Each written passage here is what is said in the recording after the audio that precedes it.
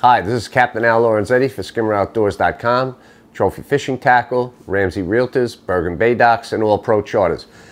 Bringing you the weekend update and fishing report, whatever, this for the weekend of the end of March now and Easter Sunday weekend, the 30th, 31st, and 1st of April. So I guess the first thing is uh, Rich Santos and I took a trip last week. We went down to uh, Houma, Louisiana. We landed in New Orleans, left in that snowstorm.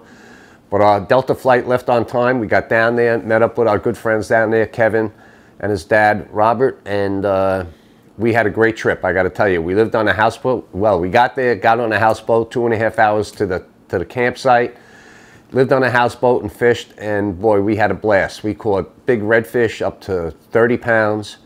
Uh, that was on, you know, believe it or not, uh, well, I'm not going to give away Kevin's baits, but we caught big reds. And then uh, we also caught a bunch of drums, specks, and smaller reds in the backcountry, and it was just an awesome trip. We had a great time. So if you ever get a chance to go to South Louisiana, just Louisiana in, in general, uh, really is a sportsman's paradise. They really try to help people out and make opportunities for fishing and hunting, and it's a great place, and we have a great time with those people down there. They're special and good friends of ours. So anyway, moving on.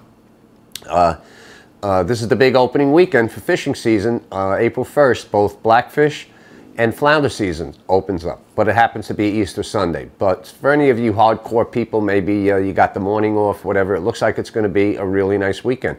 Friday shaky, a little bit of rain, but clearing up late in the day, and then Saturday and Sunday look like beautiful days, temps up in the 50s and, and light winds. So uh, definitely doable. If you're in the water, uh, you know, you can give it a shot maybe a little flounder fishing, a little black fishing to get the season going. But the uh, water temperatures still are pretty cold.